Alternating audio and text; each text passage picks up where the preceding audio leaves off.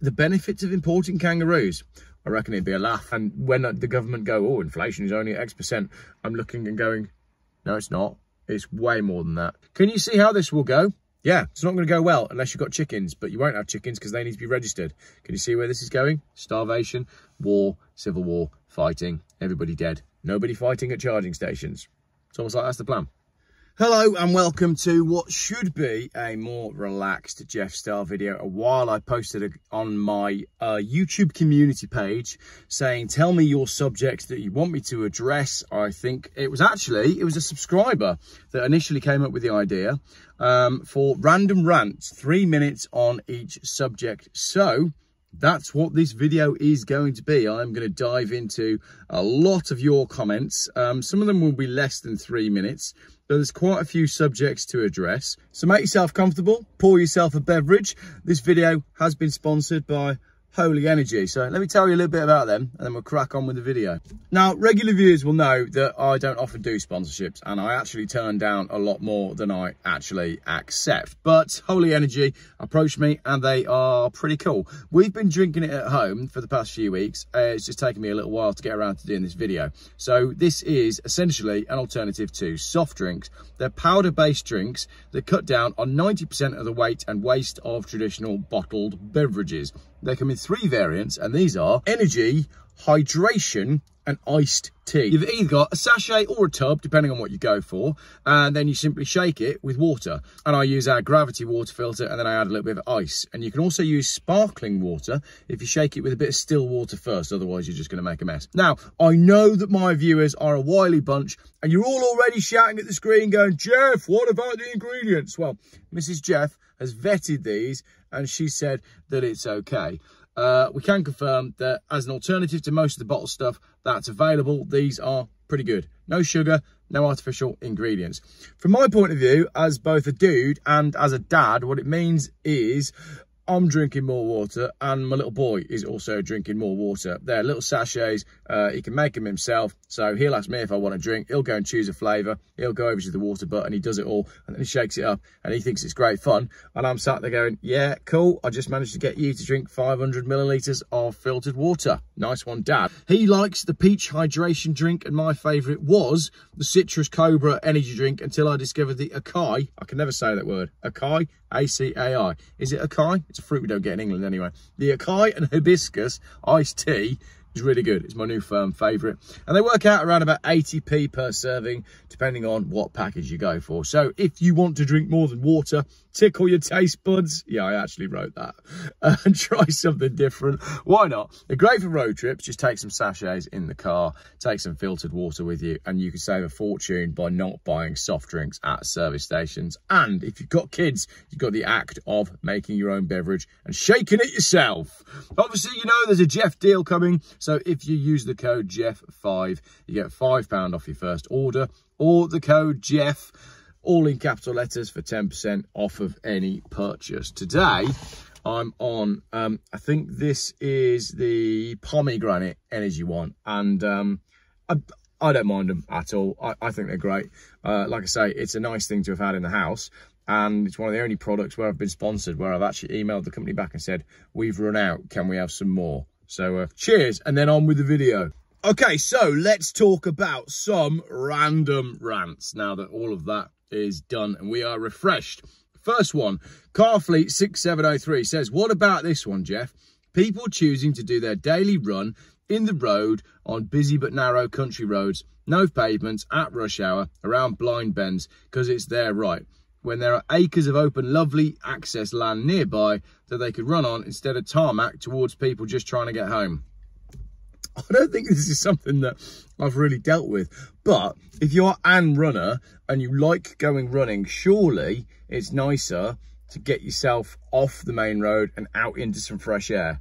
Um, same with, with bicycling as well. You want to go somewhere rural and remote where you get fresh air and you're out within nature. Um, don't understand people who run in urban environments. Next one, Mr. G the benefits of importing kangaroos and introducing them to the wildlife. Um, hello, Mr. Sheep. This is a kangaroo. I'd like you to meet him. Mr. Kangaroo, this is a sheep. If you could both please shake hands. Um, the benefits of importing kangaroos. I reckon it'd be a laugh.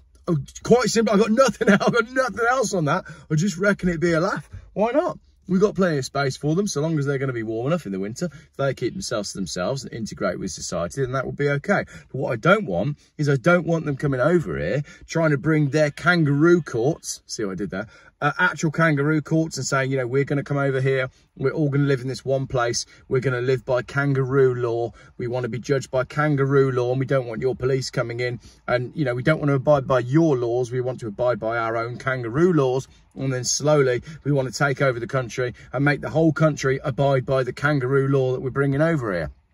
That wouldn't be good. But if the kangaroos are going to come here and sort of assimilate and become part of our nature and get to know us and respect our cultures, respect our way of life and respect our sheep, then that's great. I'm all for importing more kangaroos. Thank you very much for that comment. Uh, Christian Kirkines. Poor quality gaskets in engines causing oil leaks after a few years. Modern car gaskets are crap and harden, causing engine problems. I feel like this is part of the planned obsolescence. Expensive leaks will either damage the engine or cause the car to become uneconomical to repair. This is a really good one. Um, I think the wider picture here is poor quality parts in general. But with an engine gasket, like a head gasket, that's a big deal. But with cars in the old days, a failed head gasket wasn't the end of the world. Your car would overheat, you go, oh, my head gasket's gone. You take it to a garage, they do the gasket, maybe you have to send the head away to get the head skimmed and then put it all back together and the car works. But with modern vehicles, it's almost like things are getting more complicated than they ever were before and the vehicle's more likely a modern vehicle is more likely to be, um, you know, a, a write-off due to a gasket failure than an older vehicle is. Everything has gone backwards. It's not just gaskets. It's all replacement parts. Problem is, it's all just coming from China, isn't it? And it's all rubbish. We saw this in the classic car world as well. I was very involved in the classic car world before YouTube sort of took off. And this was something that Practical Classics would write about time and time again. The fact that they cannot get good quality reproduction parts and many of the parts that they do buy from suppliers just don't last. So I think it's a problem across the board. Um, I don't drive anything older than about 19... I've bought a new one. I've bought a brand new car. I think it's a 1998. Uh, but that's as new as I go. And interestingly, you don't know this yet because nobody's been told, but Ian from Cherish Vehicle Insurance messaged me a video earlier on of his 2008 BMW 320 diesel M Sport Saloon. Do you remember I posted that video? We both had the same car for a little while. The one I bought for John O'Groats. Ian got his for free. He took the engine out and did all of the chains, did everything to make that car sound and secure so he could use it. Time and chains went again today engine is goose, car is going on Facebook Marketplace, spares or repair. Ian is going back to driving his old Land Rover Defender, and that's a car from 2008. So I think people are starting to realise that the modern stuff, unless you're buying something that's very simple, they don't work. Good comment. Uh, Sisyphus Apprentice. Here's one for you, Geoff. Not particularly topical or controversial in the literal sense, but a subject that is very close to my heart. When are we going to abolish the ridiculous biannual clock changing fiasco? It serves no useful purpose other than giving the elite an extra hour of time around the barbecue. For those three days when the sun continuously shines at the expense of all those additional accidents that result from falling out of bed an hour earlier on the last Monday in March. Let's stick to Greenwich Mean Time and do so with pride. Is Greenwich Mean Time the one that's in the summer or the winter? Because I absolutely hate short evenings. There is nothing. The worst part about Britain is the fact that after about, it's basically October, late October until pretty much May, the country is miserable and, and you just finished after about 4 p.m. Um, so I don't really mind the changing clocks, but I am more bothered about the fact that it's dark in the winter. Hope that answers your question. uh, Tim says, increase in petrol prices over the years and see if there's a correlation in the increase with electricity costs now. Hmm, good one. I'm not sure. I when I started driving, petrol was 79.9 pence a litre. And I think you've got to compare the cost of petrol with annual wages. And the thing is, the cost of petrol has more than doubled in the time that I've been driving. Wages have not. And the price of houses has more than doubled as well. So basically, nothing makes sense because nothing moves in a linear way and these things don't go up in price at the same sort of rate, do they? But we know that we're being lied to about inflation as well. And the only one that I've got as a really funny example is um, I quite like mineral water. Used to buy a lot of mineral water, a bottle, a pack of six. Mineral water used to be about £3.10. You're now approaching five quid for a pack of six. I think it's Buxton or whatever they are mineral waters. And when the government go, oh, inflation is only X percent, I'm looking and going, no, it's not. It's way more than that because I can see it in the supermarkets. And again, that's a whole conversation because we don't have a cost of living crisis. We have a corporate profit crisis. Totally different thing. The uh, all the big corporations, supermarkets are absolutely taking us for a ride and it's driving everything up. And nothing ever comes down, does it? Nothing ever comes down. Um, right. A user with not a proper username says, Geoff, rant about lorries trying to overtake each other on two-lane carriageways when they are both limited to the same top speed. Don't need to. I did it all in my east to west challenge when I was on the A14 around Kettering.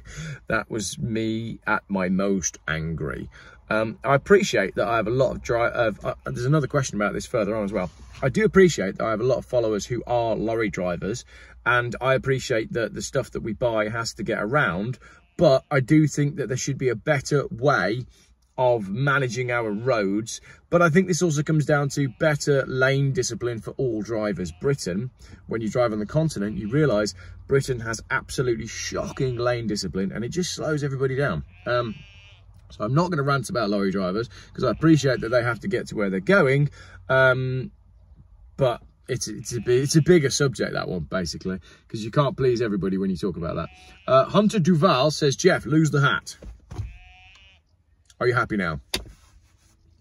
Uh, based armchair says three minutes on the stupidest things you've ever seen in the media. Got to be so stupid that it's hilarious. I saw an article earlier in the week where someone tried to drown their partner in a dog bowl. Um, honestly, one of the stupidest things I've seen in the media is there was this chap, right? And he was out taking some photos of his car and he, he stood there, like taking pictures of the car and he saw a black animal walk up the field and he thought that it was a big cat. And this absolute imbecile made a video about it, put it on YouTube, claiming that he'd found a Black Panther in whatever Shire it was that he lived in at the time. Put this video on YouTube, claimed he'd found a Black Panther, uh, and um, and then it went really viral and every single newspaper in the country picked up on this. Now, the stupid thing about that was, if he'd looked properly when he was editing the video, he would have known that the owner of the dog that he was filming, when he thought he was filming a Black Panther, was actually walking slightly further down the field. But he was so focused on the animal that he thought was a panther, he didn't notice that. When the video went on YouTube, about the third person to watch it noticed that actually it was a dog and the person was walking down the field. But the mainstream media all of them, this video and this story about this panther that was filmed by this idiot from YouTube was all over every single local news website. So I think that is the most ridiculous thing that I've ever seen in local media because it was so obvious to debunk and yet they published all of it. Uh, and when you think about the serious things that the newspapers neglect to mention, uh, just shows you what the newspapers are actually for. Thanks for that one. Tim Hicks says, how long is it going to take Keir Starmer and co to completely ruin the UK? Well, I posted this on my community page three weeks ago. And, uh, well, Tim, I didn't think it would be as fast as it has been, but they've done it, haven't they? Uh, record. Must be some sort of Guinness World Record, that, you know, the shortest time to ruin a country. Simon Priestley says, a tech firm goes down this morning and some dudes on trains could only pay with cash. This should be an eye-opener for folk. Yeah, so this was just the other week when we had the big outage and people were struggling to pay for things. Um, you should always carry a bit of cash with you because what if your phone battery dies? There's so many what ifs. You should always carry a bit of cash. Let that be a lesson to you. And I think if I've got any hope in the dystopian future into which we are headed, my hope is that the systems that they are building won't have the storage, the data, the batteries and the power to actually function in the way that they want them to function. And I think the flaws in technology could be on our side in the future. Um, B Hindi Bars, behind bars, says, Backyard chicken owners will be legally obliged to register their birds with the government from October, even if you just have a single pet chicken. That's in spite of a public consultation being overwhelmingly against this stupid government idea. Discuss. What is there to discuss about that? That is dystopia right there, isn't it? You can't even keep chickens. Why can't you keep chickens? Because it's food. What do chickens produce? Eggs. What are eggs? One of the best, healthiest, most natural, oldest sources of protein that you could possibly eat. Your government doesn't want you to eat. Your government doesn't want you to be healthy. Disgust. Uh, disband the BBC says, I wouldn't want you to get demonetized because of my suggestions, Geoff, so I'll just keep my mouth shut. Bearing in mind, one of my videos got demonetized yesterday, and all I did was talk about EV vans on the Isle of Wight and joke about the fact that the workers were mostly drinking tea and not fixing the potholes. YouTube didn't like that, got demonetized. Don't know why. Uh, Michael Matthews says, disposable nappies. It's never mentioned in climate change. In raw, is raw sewage actually killing rivers? Organic, something eats something eats something, or is it the cocaine, bleach, hydrochloric acid, etc. in the output? Um, very, very good points here. Disposable nappies. Yeah, every single disposable nappy that you have ever worn and every single disposable nappy that I have ever worn um, is still it still exists. It's still around. Um, if you wanted to, you could probably go find them all. Um, they don't biodegrade. They do last forever, and they are horrendous. However, they are generally made by the same companies that are all involved in big pharma and all that sort of stuff. And they can't be touched, as we know, which is the exact same thing as the whole net zero, let's save the planet, let's sort out recycling, but nobody is stopping Coca-Cola or the Pepsi-Cola company from making plastic bottles. Um, same thing. Uh, net zero and saving the planet and stopping pollution and all that stuff. It's, it's for you and me to do. It's not for big business. They've got shareholders to please. They shouldn't be involved in any of that. It's just on you and me. Remember that. Thanks for that comment. Um, Michael Matthews, why do people look through a telescope for aliens when they should be looking through a microscope? That's actually a really superb little point. I've just ordered, after seeing on Instagram, an advert for um, a microscope that my kids can mess with. And there's a whole load of stuff that I've never really looked into, like parasite theory and all this sort of stuff. But when you start zooming in on things with a microscope, the world gets really weird really quickly. And because I bought this thing on Instagram, obviously all the cookies on my computer have told my social media that I enjoy watching videos of things massively zoomed in. And now my social media is full of people taking weird things like, what are those crisps in America? Cheetos someone got a microscope, cracked open a Cheeto, put that fluid or whatever it is on it, and then zoomed in on it and found that there were tiny, tiny parasites cruising around in these, what were essentially just deep fried crisps. Um, so yeah, I, I think the weirdness in the world, it gets stranger as it gets smaller. Um, and Ant-Man, if you've watched the movie Ant-Man, you'll know all about this. So yes, I agree with you basically. Danny D says, what happens when in years to come, the old people will be driving electric cars? Forget the riots in Leeds, the charging station riots will be countrywide. Um, honestly, are we going to have riots at charging stations when everybody's got electric cars? No, I don't think we are. I don't think we're going to get that far. I think there's going to be some big cataclysmic event that's going to wipe out most of humanity, and I really don't think we're going to get to the stage to see that. Also, the whole goal of introducing electric cars was never to get you out of your car and into an electric car. It was never to replace every petrol and diesel car with an electric car. It was only ever about reducing car ownership. That's the agenda that they're following. And if people don't wake up and start, I don't know, overthrowing things, watch what I can and can't say then um, we'll head for a future where nobody owns a car. So no, there won't be right to charging stations because A, the people won't be here, and B, they won't own the cars anyway. Um, Danny D, another one from him. I got three from him actually. Cars with corners cut off their number plates. I'm assuming you mean. Do you mean like number plates when they're shaped for the size and position of the number plate on the back of the car? Certain cars that works really, really well. Jaguar S-Type Rover 75. Um, cars with corners cut off their number plates. Oh, no, I know what you mean. Now, you're talking about bell ends. Um, I would put those in the same automotive category as 3D number plates. Don't do it. Uh, another one. How about people in a queue at the till who suddenly forget something and keep everybody else waiting while they go and get it? There's ways that you can do that, right? You can do that in a way that you can be super quick and you can minimize the disturbance because I'm quite chaotic. So I am the sort of person that would do that, but I would never put anybody out. I would go to the back of the queue if I was going to be more than three seconds. Um, I think in life generally, some people are incredibly selfish and think that the world revolves around them. There seems to be a bit of an epidemic of that at the moment. People thinking that the world revolves around them when it doesn't. So I think that's the situation that you're discussing. Um, no, go to the back of the queue.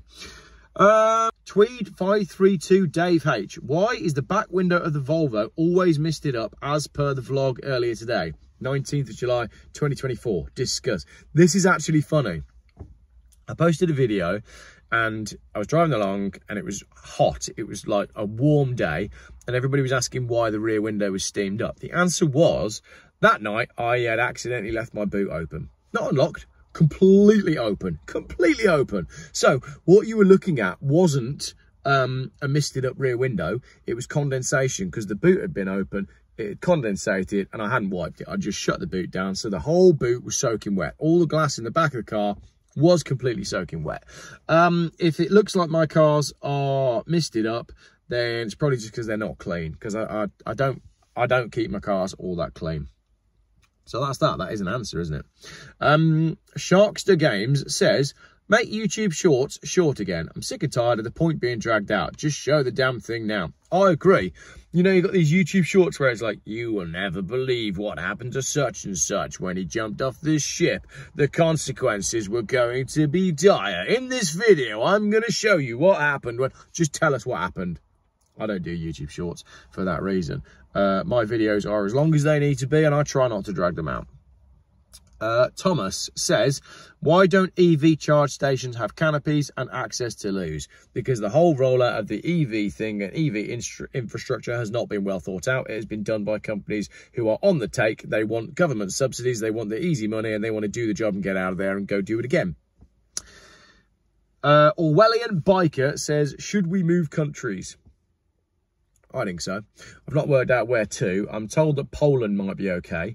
I like the idea of Texas. Um, I know New Zealand isn't ideal in terms of the way they're locked down during the pandemic and whatnot, but I quite like the idea of New Zealand, mostly because I speak the language.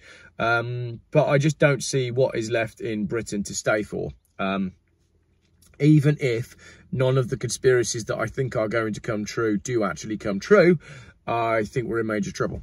So what's the point in staying here? You know, like bringing up kids in England, what kind of future have they got? What kind of jobs are they going to get? What's the country going to look like? How safe is it going to be? Country's finished. Yeah, leave the country is my conclusion. Sierra November Kilo says, when is this fiat money Ponzi scheme going to end? Not only are we paying extortionate for the surcharge on our form of exchange, but the mega billion dollar owners of all the equity out there need there to be constant inflation for them to not feel like they're losing money. I think it's already failed. I think that's what part of the reason that everything that we're seeing happen is happening. I think the um, world never really recovered after 2008 and I think they are just squeezing the last few drops of the lemon. I think that's where we're at. Yeah, so to answer your question, I think it's failed. Um, Another one from this same person. Why is it when you're midway composing a response to a video, an advert cuts in and poof, your comment is gone? I can't answer that one. Um, I don't ever get involved with where the videos are placed in, in the, um, with where the adverts are placed in the video. YouTube does all that automatically. But how hard is it from YouTube's point of view to make sure that if you're typing a comment, it doesn't like refresh the page uh, when an advert kicks in? It should just leave it. So I don't know. I apologise on behalf of YouTube for that.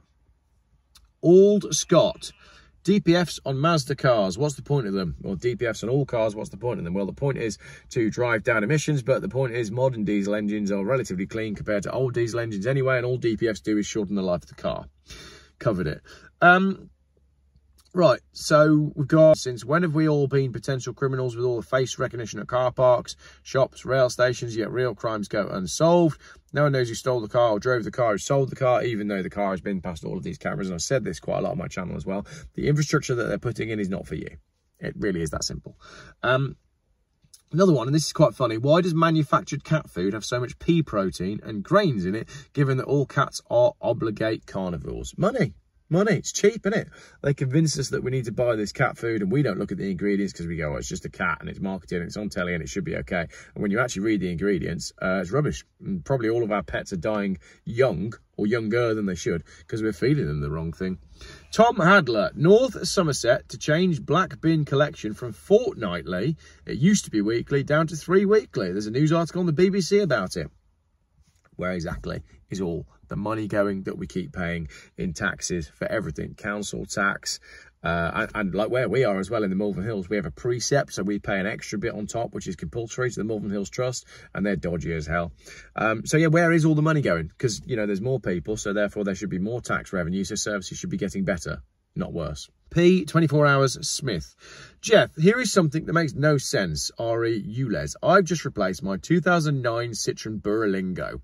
It's a 1.6 HDI and I've replaced it with a 2006 Kangoo 1.6 petrol because the Kangoo is ULEZ compliant and the Berlingo is not. However, the road tax for the compliant Kangoo is double that of the non-compliant Berlingo. Are people aware of the emissions levels? I might pull this out and put it in a separate video, but essentially the reason is the whole thing is a scam and it's based on made up numbers. Does that answer your question? Because a 2009 Citroen Berlingo 1.6 HDI is going to be better for the environment because it probably uses around about half the amount of fuel that the petrol one does. So it's insane, isn't it? I can see that, you can see that, everyone who watches my YouTube videos can see that, but apparently the people that run the world can't. Or they do, and it's deliberate.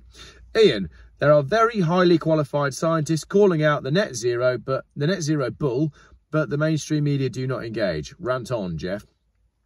I'm not going to, Ian, because it will just get the channel into disrepute. You know it, I know it, everybody who's intelligent knows it, and the mainstream media is owned by all the people that are pushing it. I don't know what we do about that.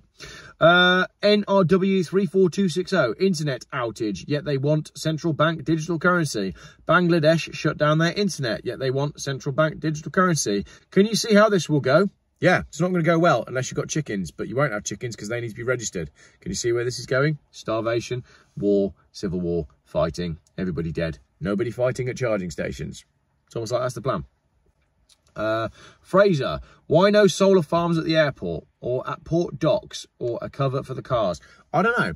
Um, I think the whole solar industry is a complete scam. That's why we don't have solar farms in really obvious places like over large car parks. Um, I think it's because it's all to do with money and land usage and there's probably no money in putting solar panels on top of a large car park because that makes sense. I think I've reached a stage in life where Thank you. If it makes sense and it's logical to us, then that's not the correct way to do it because we live in clown world now. Uh, Jan White, and we're getting to the end now. Geoff, can you ask how people's fruit and veg are producing this year? Last year, my runner beans were amazing. This year, there's hardly any flowers. On a note of optimism, I've got an excellent crop of rhubarb and the potatoes are growing nicely. Blackcurrants are looking good, but no raspberries at all. I'm in West Wales. Would be nice to have a bit of home veg from around the country. A home veg watch from around the country. That's a great idea for a video. I think my crops must have been restricted to 20 mile an hour by the Senedd. So, uh, Geoff's home veg watch video will be coming very soon. Uh, Earthheart13964. How big cats got into the UK. Now, that's an interesting subject and worthy of another video. But, the, I mean, big cats have been documented in the UK since forever. Then they were hunted to extinction. The Romans brought some over here for entertainment. And there's an argument that maybe there's dwindling amounts of, you know, populations from Roman times. But the big one was in the, was it 1972? The Wild Animals Act came in, which meant that every animal had to have a permit, and there were lots of people that kept things like leopards and monkeys and lions and tigers, and instead of, you know, doing all of the stuff that they needed to do to um, get the permit, they just released them into the wild. And there's lots of stories, you know, the gentleman that released some pumas onto Dartmoor, puma, and allegedly there's a guy that claims that he released some animals on top of the Malvern Hills as well. So that, basically, I think a lot of them are heritage populations from then. I think there's been a lot of inbreeding. I think many of the sightings that we see in the UK are not necessarily like your pure breed black leopard, but I think it's um, what's called a Kellas cat, which is essentially like a leopard, but like a smaller version. We've got, I, I think we've probably got a sort of UK specific wild cat that nobody has properly documented yet. That's what I think. There you go. You almost got three minutes on that. Um, Right, three minutes on the subject of why the attention span of many people is being eroded by the likes of TikTok. The dopamine chasing goldfish are possibly, allegedly, maybe therefore pushing content creators to publish shorts to satiate the headline chasers, whereas many people want deep dive, detail driven content to understand the nuances of a subject, not just a nudge narrative. At this stage, leave me a comment and say, 30 minutes, Geoff. Let me know if you made it to the 30 minute mark because this is interesting.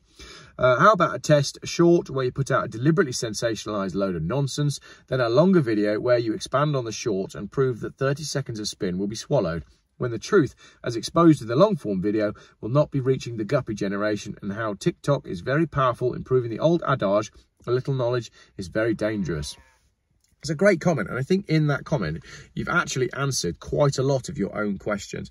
I don't post YouTube Shorts, and I don't post on TikTok. There's um, Laura, MTB Laura, she'll be here somewhere in the comments. She comments on my live feeds. Um, Laura approached me. We got to know each other online. Sounds like we're dating. We're not. Um, and basically, Laura runs my TikTok for me and she edits bits and bobs out of my videos and puts them up on TikTok. I don't know if there's any benefit to that. Now, that's interesting as well. At the moment on TikTok, I've only got about 8,000 followers. You don't earn any money until you get to 10,000. And I don't get a huge amount of views either. So it'd be very interesting when I get to 10,000 on TikTok to see what the money is like. Because with YouTube, the longer your video, the better quality the content, and therefore the advertisers see that as a quality video and your pay rate will be slightly higher. So it'll be interesting to see what this video does as well. Although, because this is a longer video, I suspect it will get less views, which is exactly in line with what this person's just said. However, the flip side of this is, I think, because content is getting shorter and shorter and less quality, I think we do seek out good quality content. And I find when I find a video that I'm really engaged with, I concentrate on it and I really listen. So if it's something like, um, you know, the VinWiki story is a really good example as well. So I will, I could listen to Ed Bolian talking about cars for hours and hours and hours. And some of the podcast stuff that I've been enjoying, less Joe Rogan lately. It's been a while since Joe Rogan's done an interview that I've actually wanted to listen to. But I tell you what, I did really enjoy the Stig chatting to former Top Gear producers and, you know, Ben Collins talking about the old Top Gear experiences and how those stories came around and how the road trips worked. And you're essentially, you're not watching overly edited content. You're just watching orators. You're watching people tell stories and you're more listening to it. And I think there's more of a gap for that sort of content. This kind of, I mean, this is essentially a podcast, isn't it? You don't need to watch this video. You could just be listening to it. And I think it, what it does is as the world moves to Maybe we'll move to two forms of people. Maybe there will be people with short attention spans and maybe there'll be people that still have the ability to think. Great comment. Thank you. Um, Dwayne Pipes says, resurrection, it's a thing as proved by royalty. How? Dunno. Maybe they're aliens. Um, and there was another comment that I don't think I included it in this, but it went all on about flat earth and all this sort of stuff. And I, I it could be hollow, it could be flat, it could be round, that's an email. Um, prove it. Nobody can really prove it, can they? Nobody re can really prove it. I struggle to believe that we are standing on a ball that is spinning at however many miles an hour and we're all kept in place by gravity. Because um, my, my, my little brain struggles to process that. And the only time I've ever seen curvature is in the lens of a GoPro. But, um, don't know. Happy to sit on the fence on that one, whether the fence is on a globe or a flat plane or a hollow earth or a dome with a firmament. Firmament. Could be that. It's definitely getting a bit Truman Show, isn't it? Last couple. Um, Paulo, Pauli Gautieri. Film yourself as a traditional Jaguar driver in the style of Arthur Daley in a Series 3 XJ6 or XJ40. Uh, I like that idea, but I'll probably wait for the winter because you need a big coat and a hat and a cigar and um, a lot of leather and wood. But I do like that idea. Last one. Soviet Union defector says, how about paying one euro or 50p for using public toilets which are never cleaned at German, EU, maybe British service stations, when it's obviously illegal to poo a wee on the pavement like our dogs can. I actually drove to Finland from East Anglia, having to limbo under the Dutch and German service station toilet page barriers out of principle of believing we have a right of free wee, especially when we had filled up and paid for fuel. I didn't know that you have to pay for them in Germany and Holland. Um, no, I, I, I, agree. I believe that you should have the right to a free wee. Uh, we shouldn't have to pay to go to the toilet. And I think that's one of the basic things that local authorities, services, the council, government should be dealing with. I think there are certain basics that allow society to carry on and allow civilization to function in a civilized manner. Removing your rubbish is one. And yes, we should be responsible in recycling and put it in the correct bins and helping with all that sort of stuff. But the basic services should be there once a week. And um, toilets, yeah, toilets are absolutely a given. You shouldn't have to pay. That should be part of, you know, that should be some of the basic stuff that is covered by taxation. But um, that's sensible. And as we've learned from earlier on in the video, things that are sensible aren't always correct in the modern world. Thank you very much for watching. And if you're wondering why I look so tired in this video, yesterday was the meteor storm and I woke up I don't think I'd gone to sleep actually. And about two o'clock in the morning, I gave up trying to sleep. I haven't slept much this week. And uh, I went for a drive and I sat somewhere very high, not on like this. And I sat like this. And I looked out the window and I watched the stars. And I saw some fantastic shooting stars. I absolutely saw one with like a full-on tail. Um, that was pretty cool. And I saw a weird helicopter with red and green lights that hovered very strangely for a long time over one certain area. And it wasn't on any of my flight radar scanning apps. Don't know what that was all about. But that's why I look like absolute crap. That's why I look knackered. That is your comments. Let me know what you thought of the video. And most importantly, let me know if you made it to the end of the video. And that proves that you are not part of the TikTok generation. Thank you very much for watching.